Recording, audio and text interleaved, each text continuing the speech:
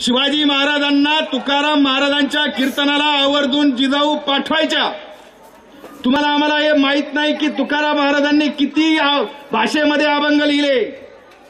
तुकाराम महाराजांच्या गाथेमध्ये मराठी सोबत हिंदी सुद्धा अभंग अभंग चालू होता. कीर्तन चालू होतं. शिवाजी महाराज बसलेले होते.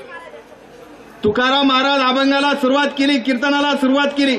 कीर्तन संपत संपत आलं. तुकाराम महाराजांना अचानक सुचलं की शिवाकडे बघितलं आणि बोट करून सांगितलं की शिव तुझे नाव ठेविले पवित्र.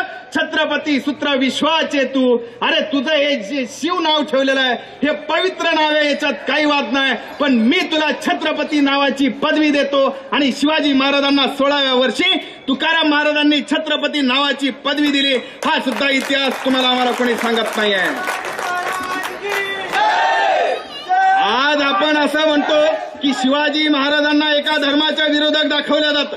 वारंवार कोणत्या ना कोणत्या गोष्टीतून शिवाजी महाराज म्हणले अमुक धर्माचे विरोधात माझा साधा प्रश्न आहे जर शिवाजी महाराज तुकाराम महाराजांच्या कीर्तनाला जात होते आणि तुकाराम महाराजांनी गाथेमध्ये अभंग आहे की अल्ला देवे अल्ला दिलावे ना अल्ला करेसो होय रे बाबा. आता तर म्हणतानाच कहर झालाय.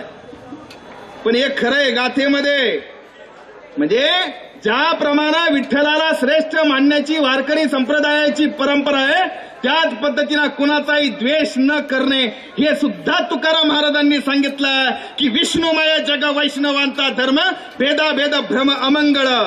कुणाही जीवाचा न गडो मत्सर अरे हेची वर्म सर्वेश्वर पूजनाचे. तुका म्हणे एका देहाचे अवयव सुख दुःख जीव भोग पावी. जर तुम्ही म्हणत असताल की सगळी लोक एकाच ईश्वराची आहे आणि तुम्ही जर त्यांना जाती धर्माच्या याच्यामध्ये जर अडकून टाकत असताल तर याद राखा हे घडता कामा नये हा संस्कार केला शिवाजी महाराजांवर. पाच हजार जाती आणि पंच्याहत्तर हजार पोट जाती एकत्र करण्याचं काम केलं तुकाराम महाराजांनी. आणि या सगळ्याला एकत्र करून नाव दिलं वारकरी. हा इतिहास बघितला हे सगळं बघितलं शिवाजी महाराजांनी. आणि शिवाजी महाराजांनी सुद्धा काय करावं? अरे याच पाच हजार जाती आणि पंच्याहत्तर हजार पोट जातींना एकत्र केलं आणि एकत्र करून यांना नाव दिलं. मावळा. आता मला सांगा शिवाजी महाराज माझ्या लहानपणी डोक्यात कसे होते ते सांगतो बरं.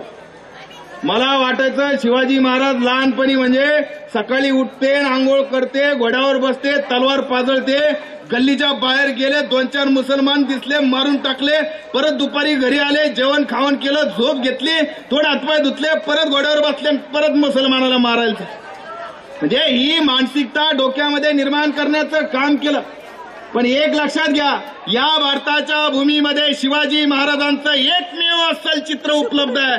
फक्त एकमेव अस्सल चित्र आणि हे चित्र काढणाऱ्याचं नाव आहे मीर मोहम्मद. अरे हा मुसलमान आहे.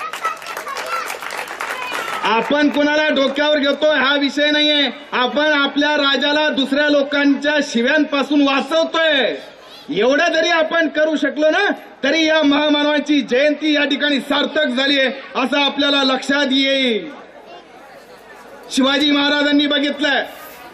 हे सगळे लोक आपल्याला एकत्र करावं लागणार आहे. अरे जात आणि धर्म बघून जर ह्या गोष्टी केल्या असत्या तर शिवाजी महाराजांचा जो काफी खान नावाचा लेखक आहे मुसलमान.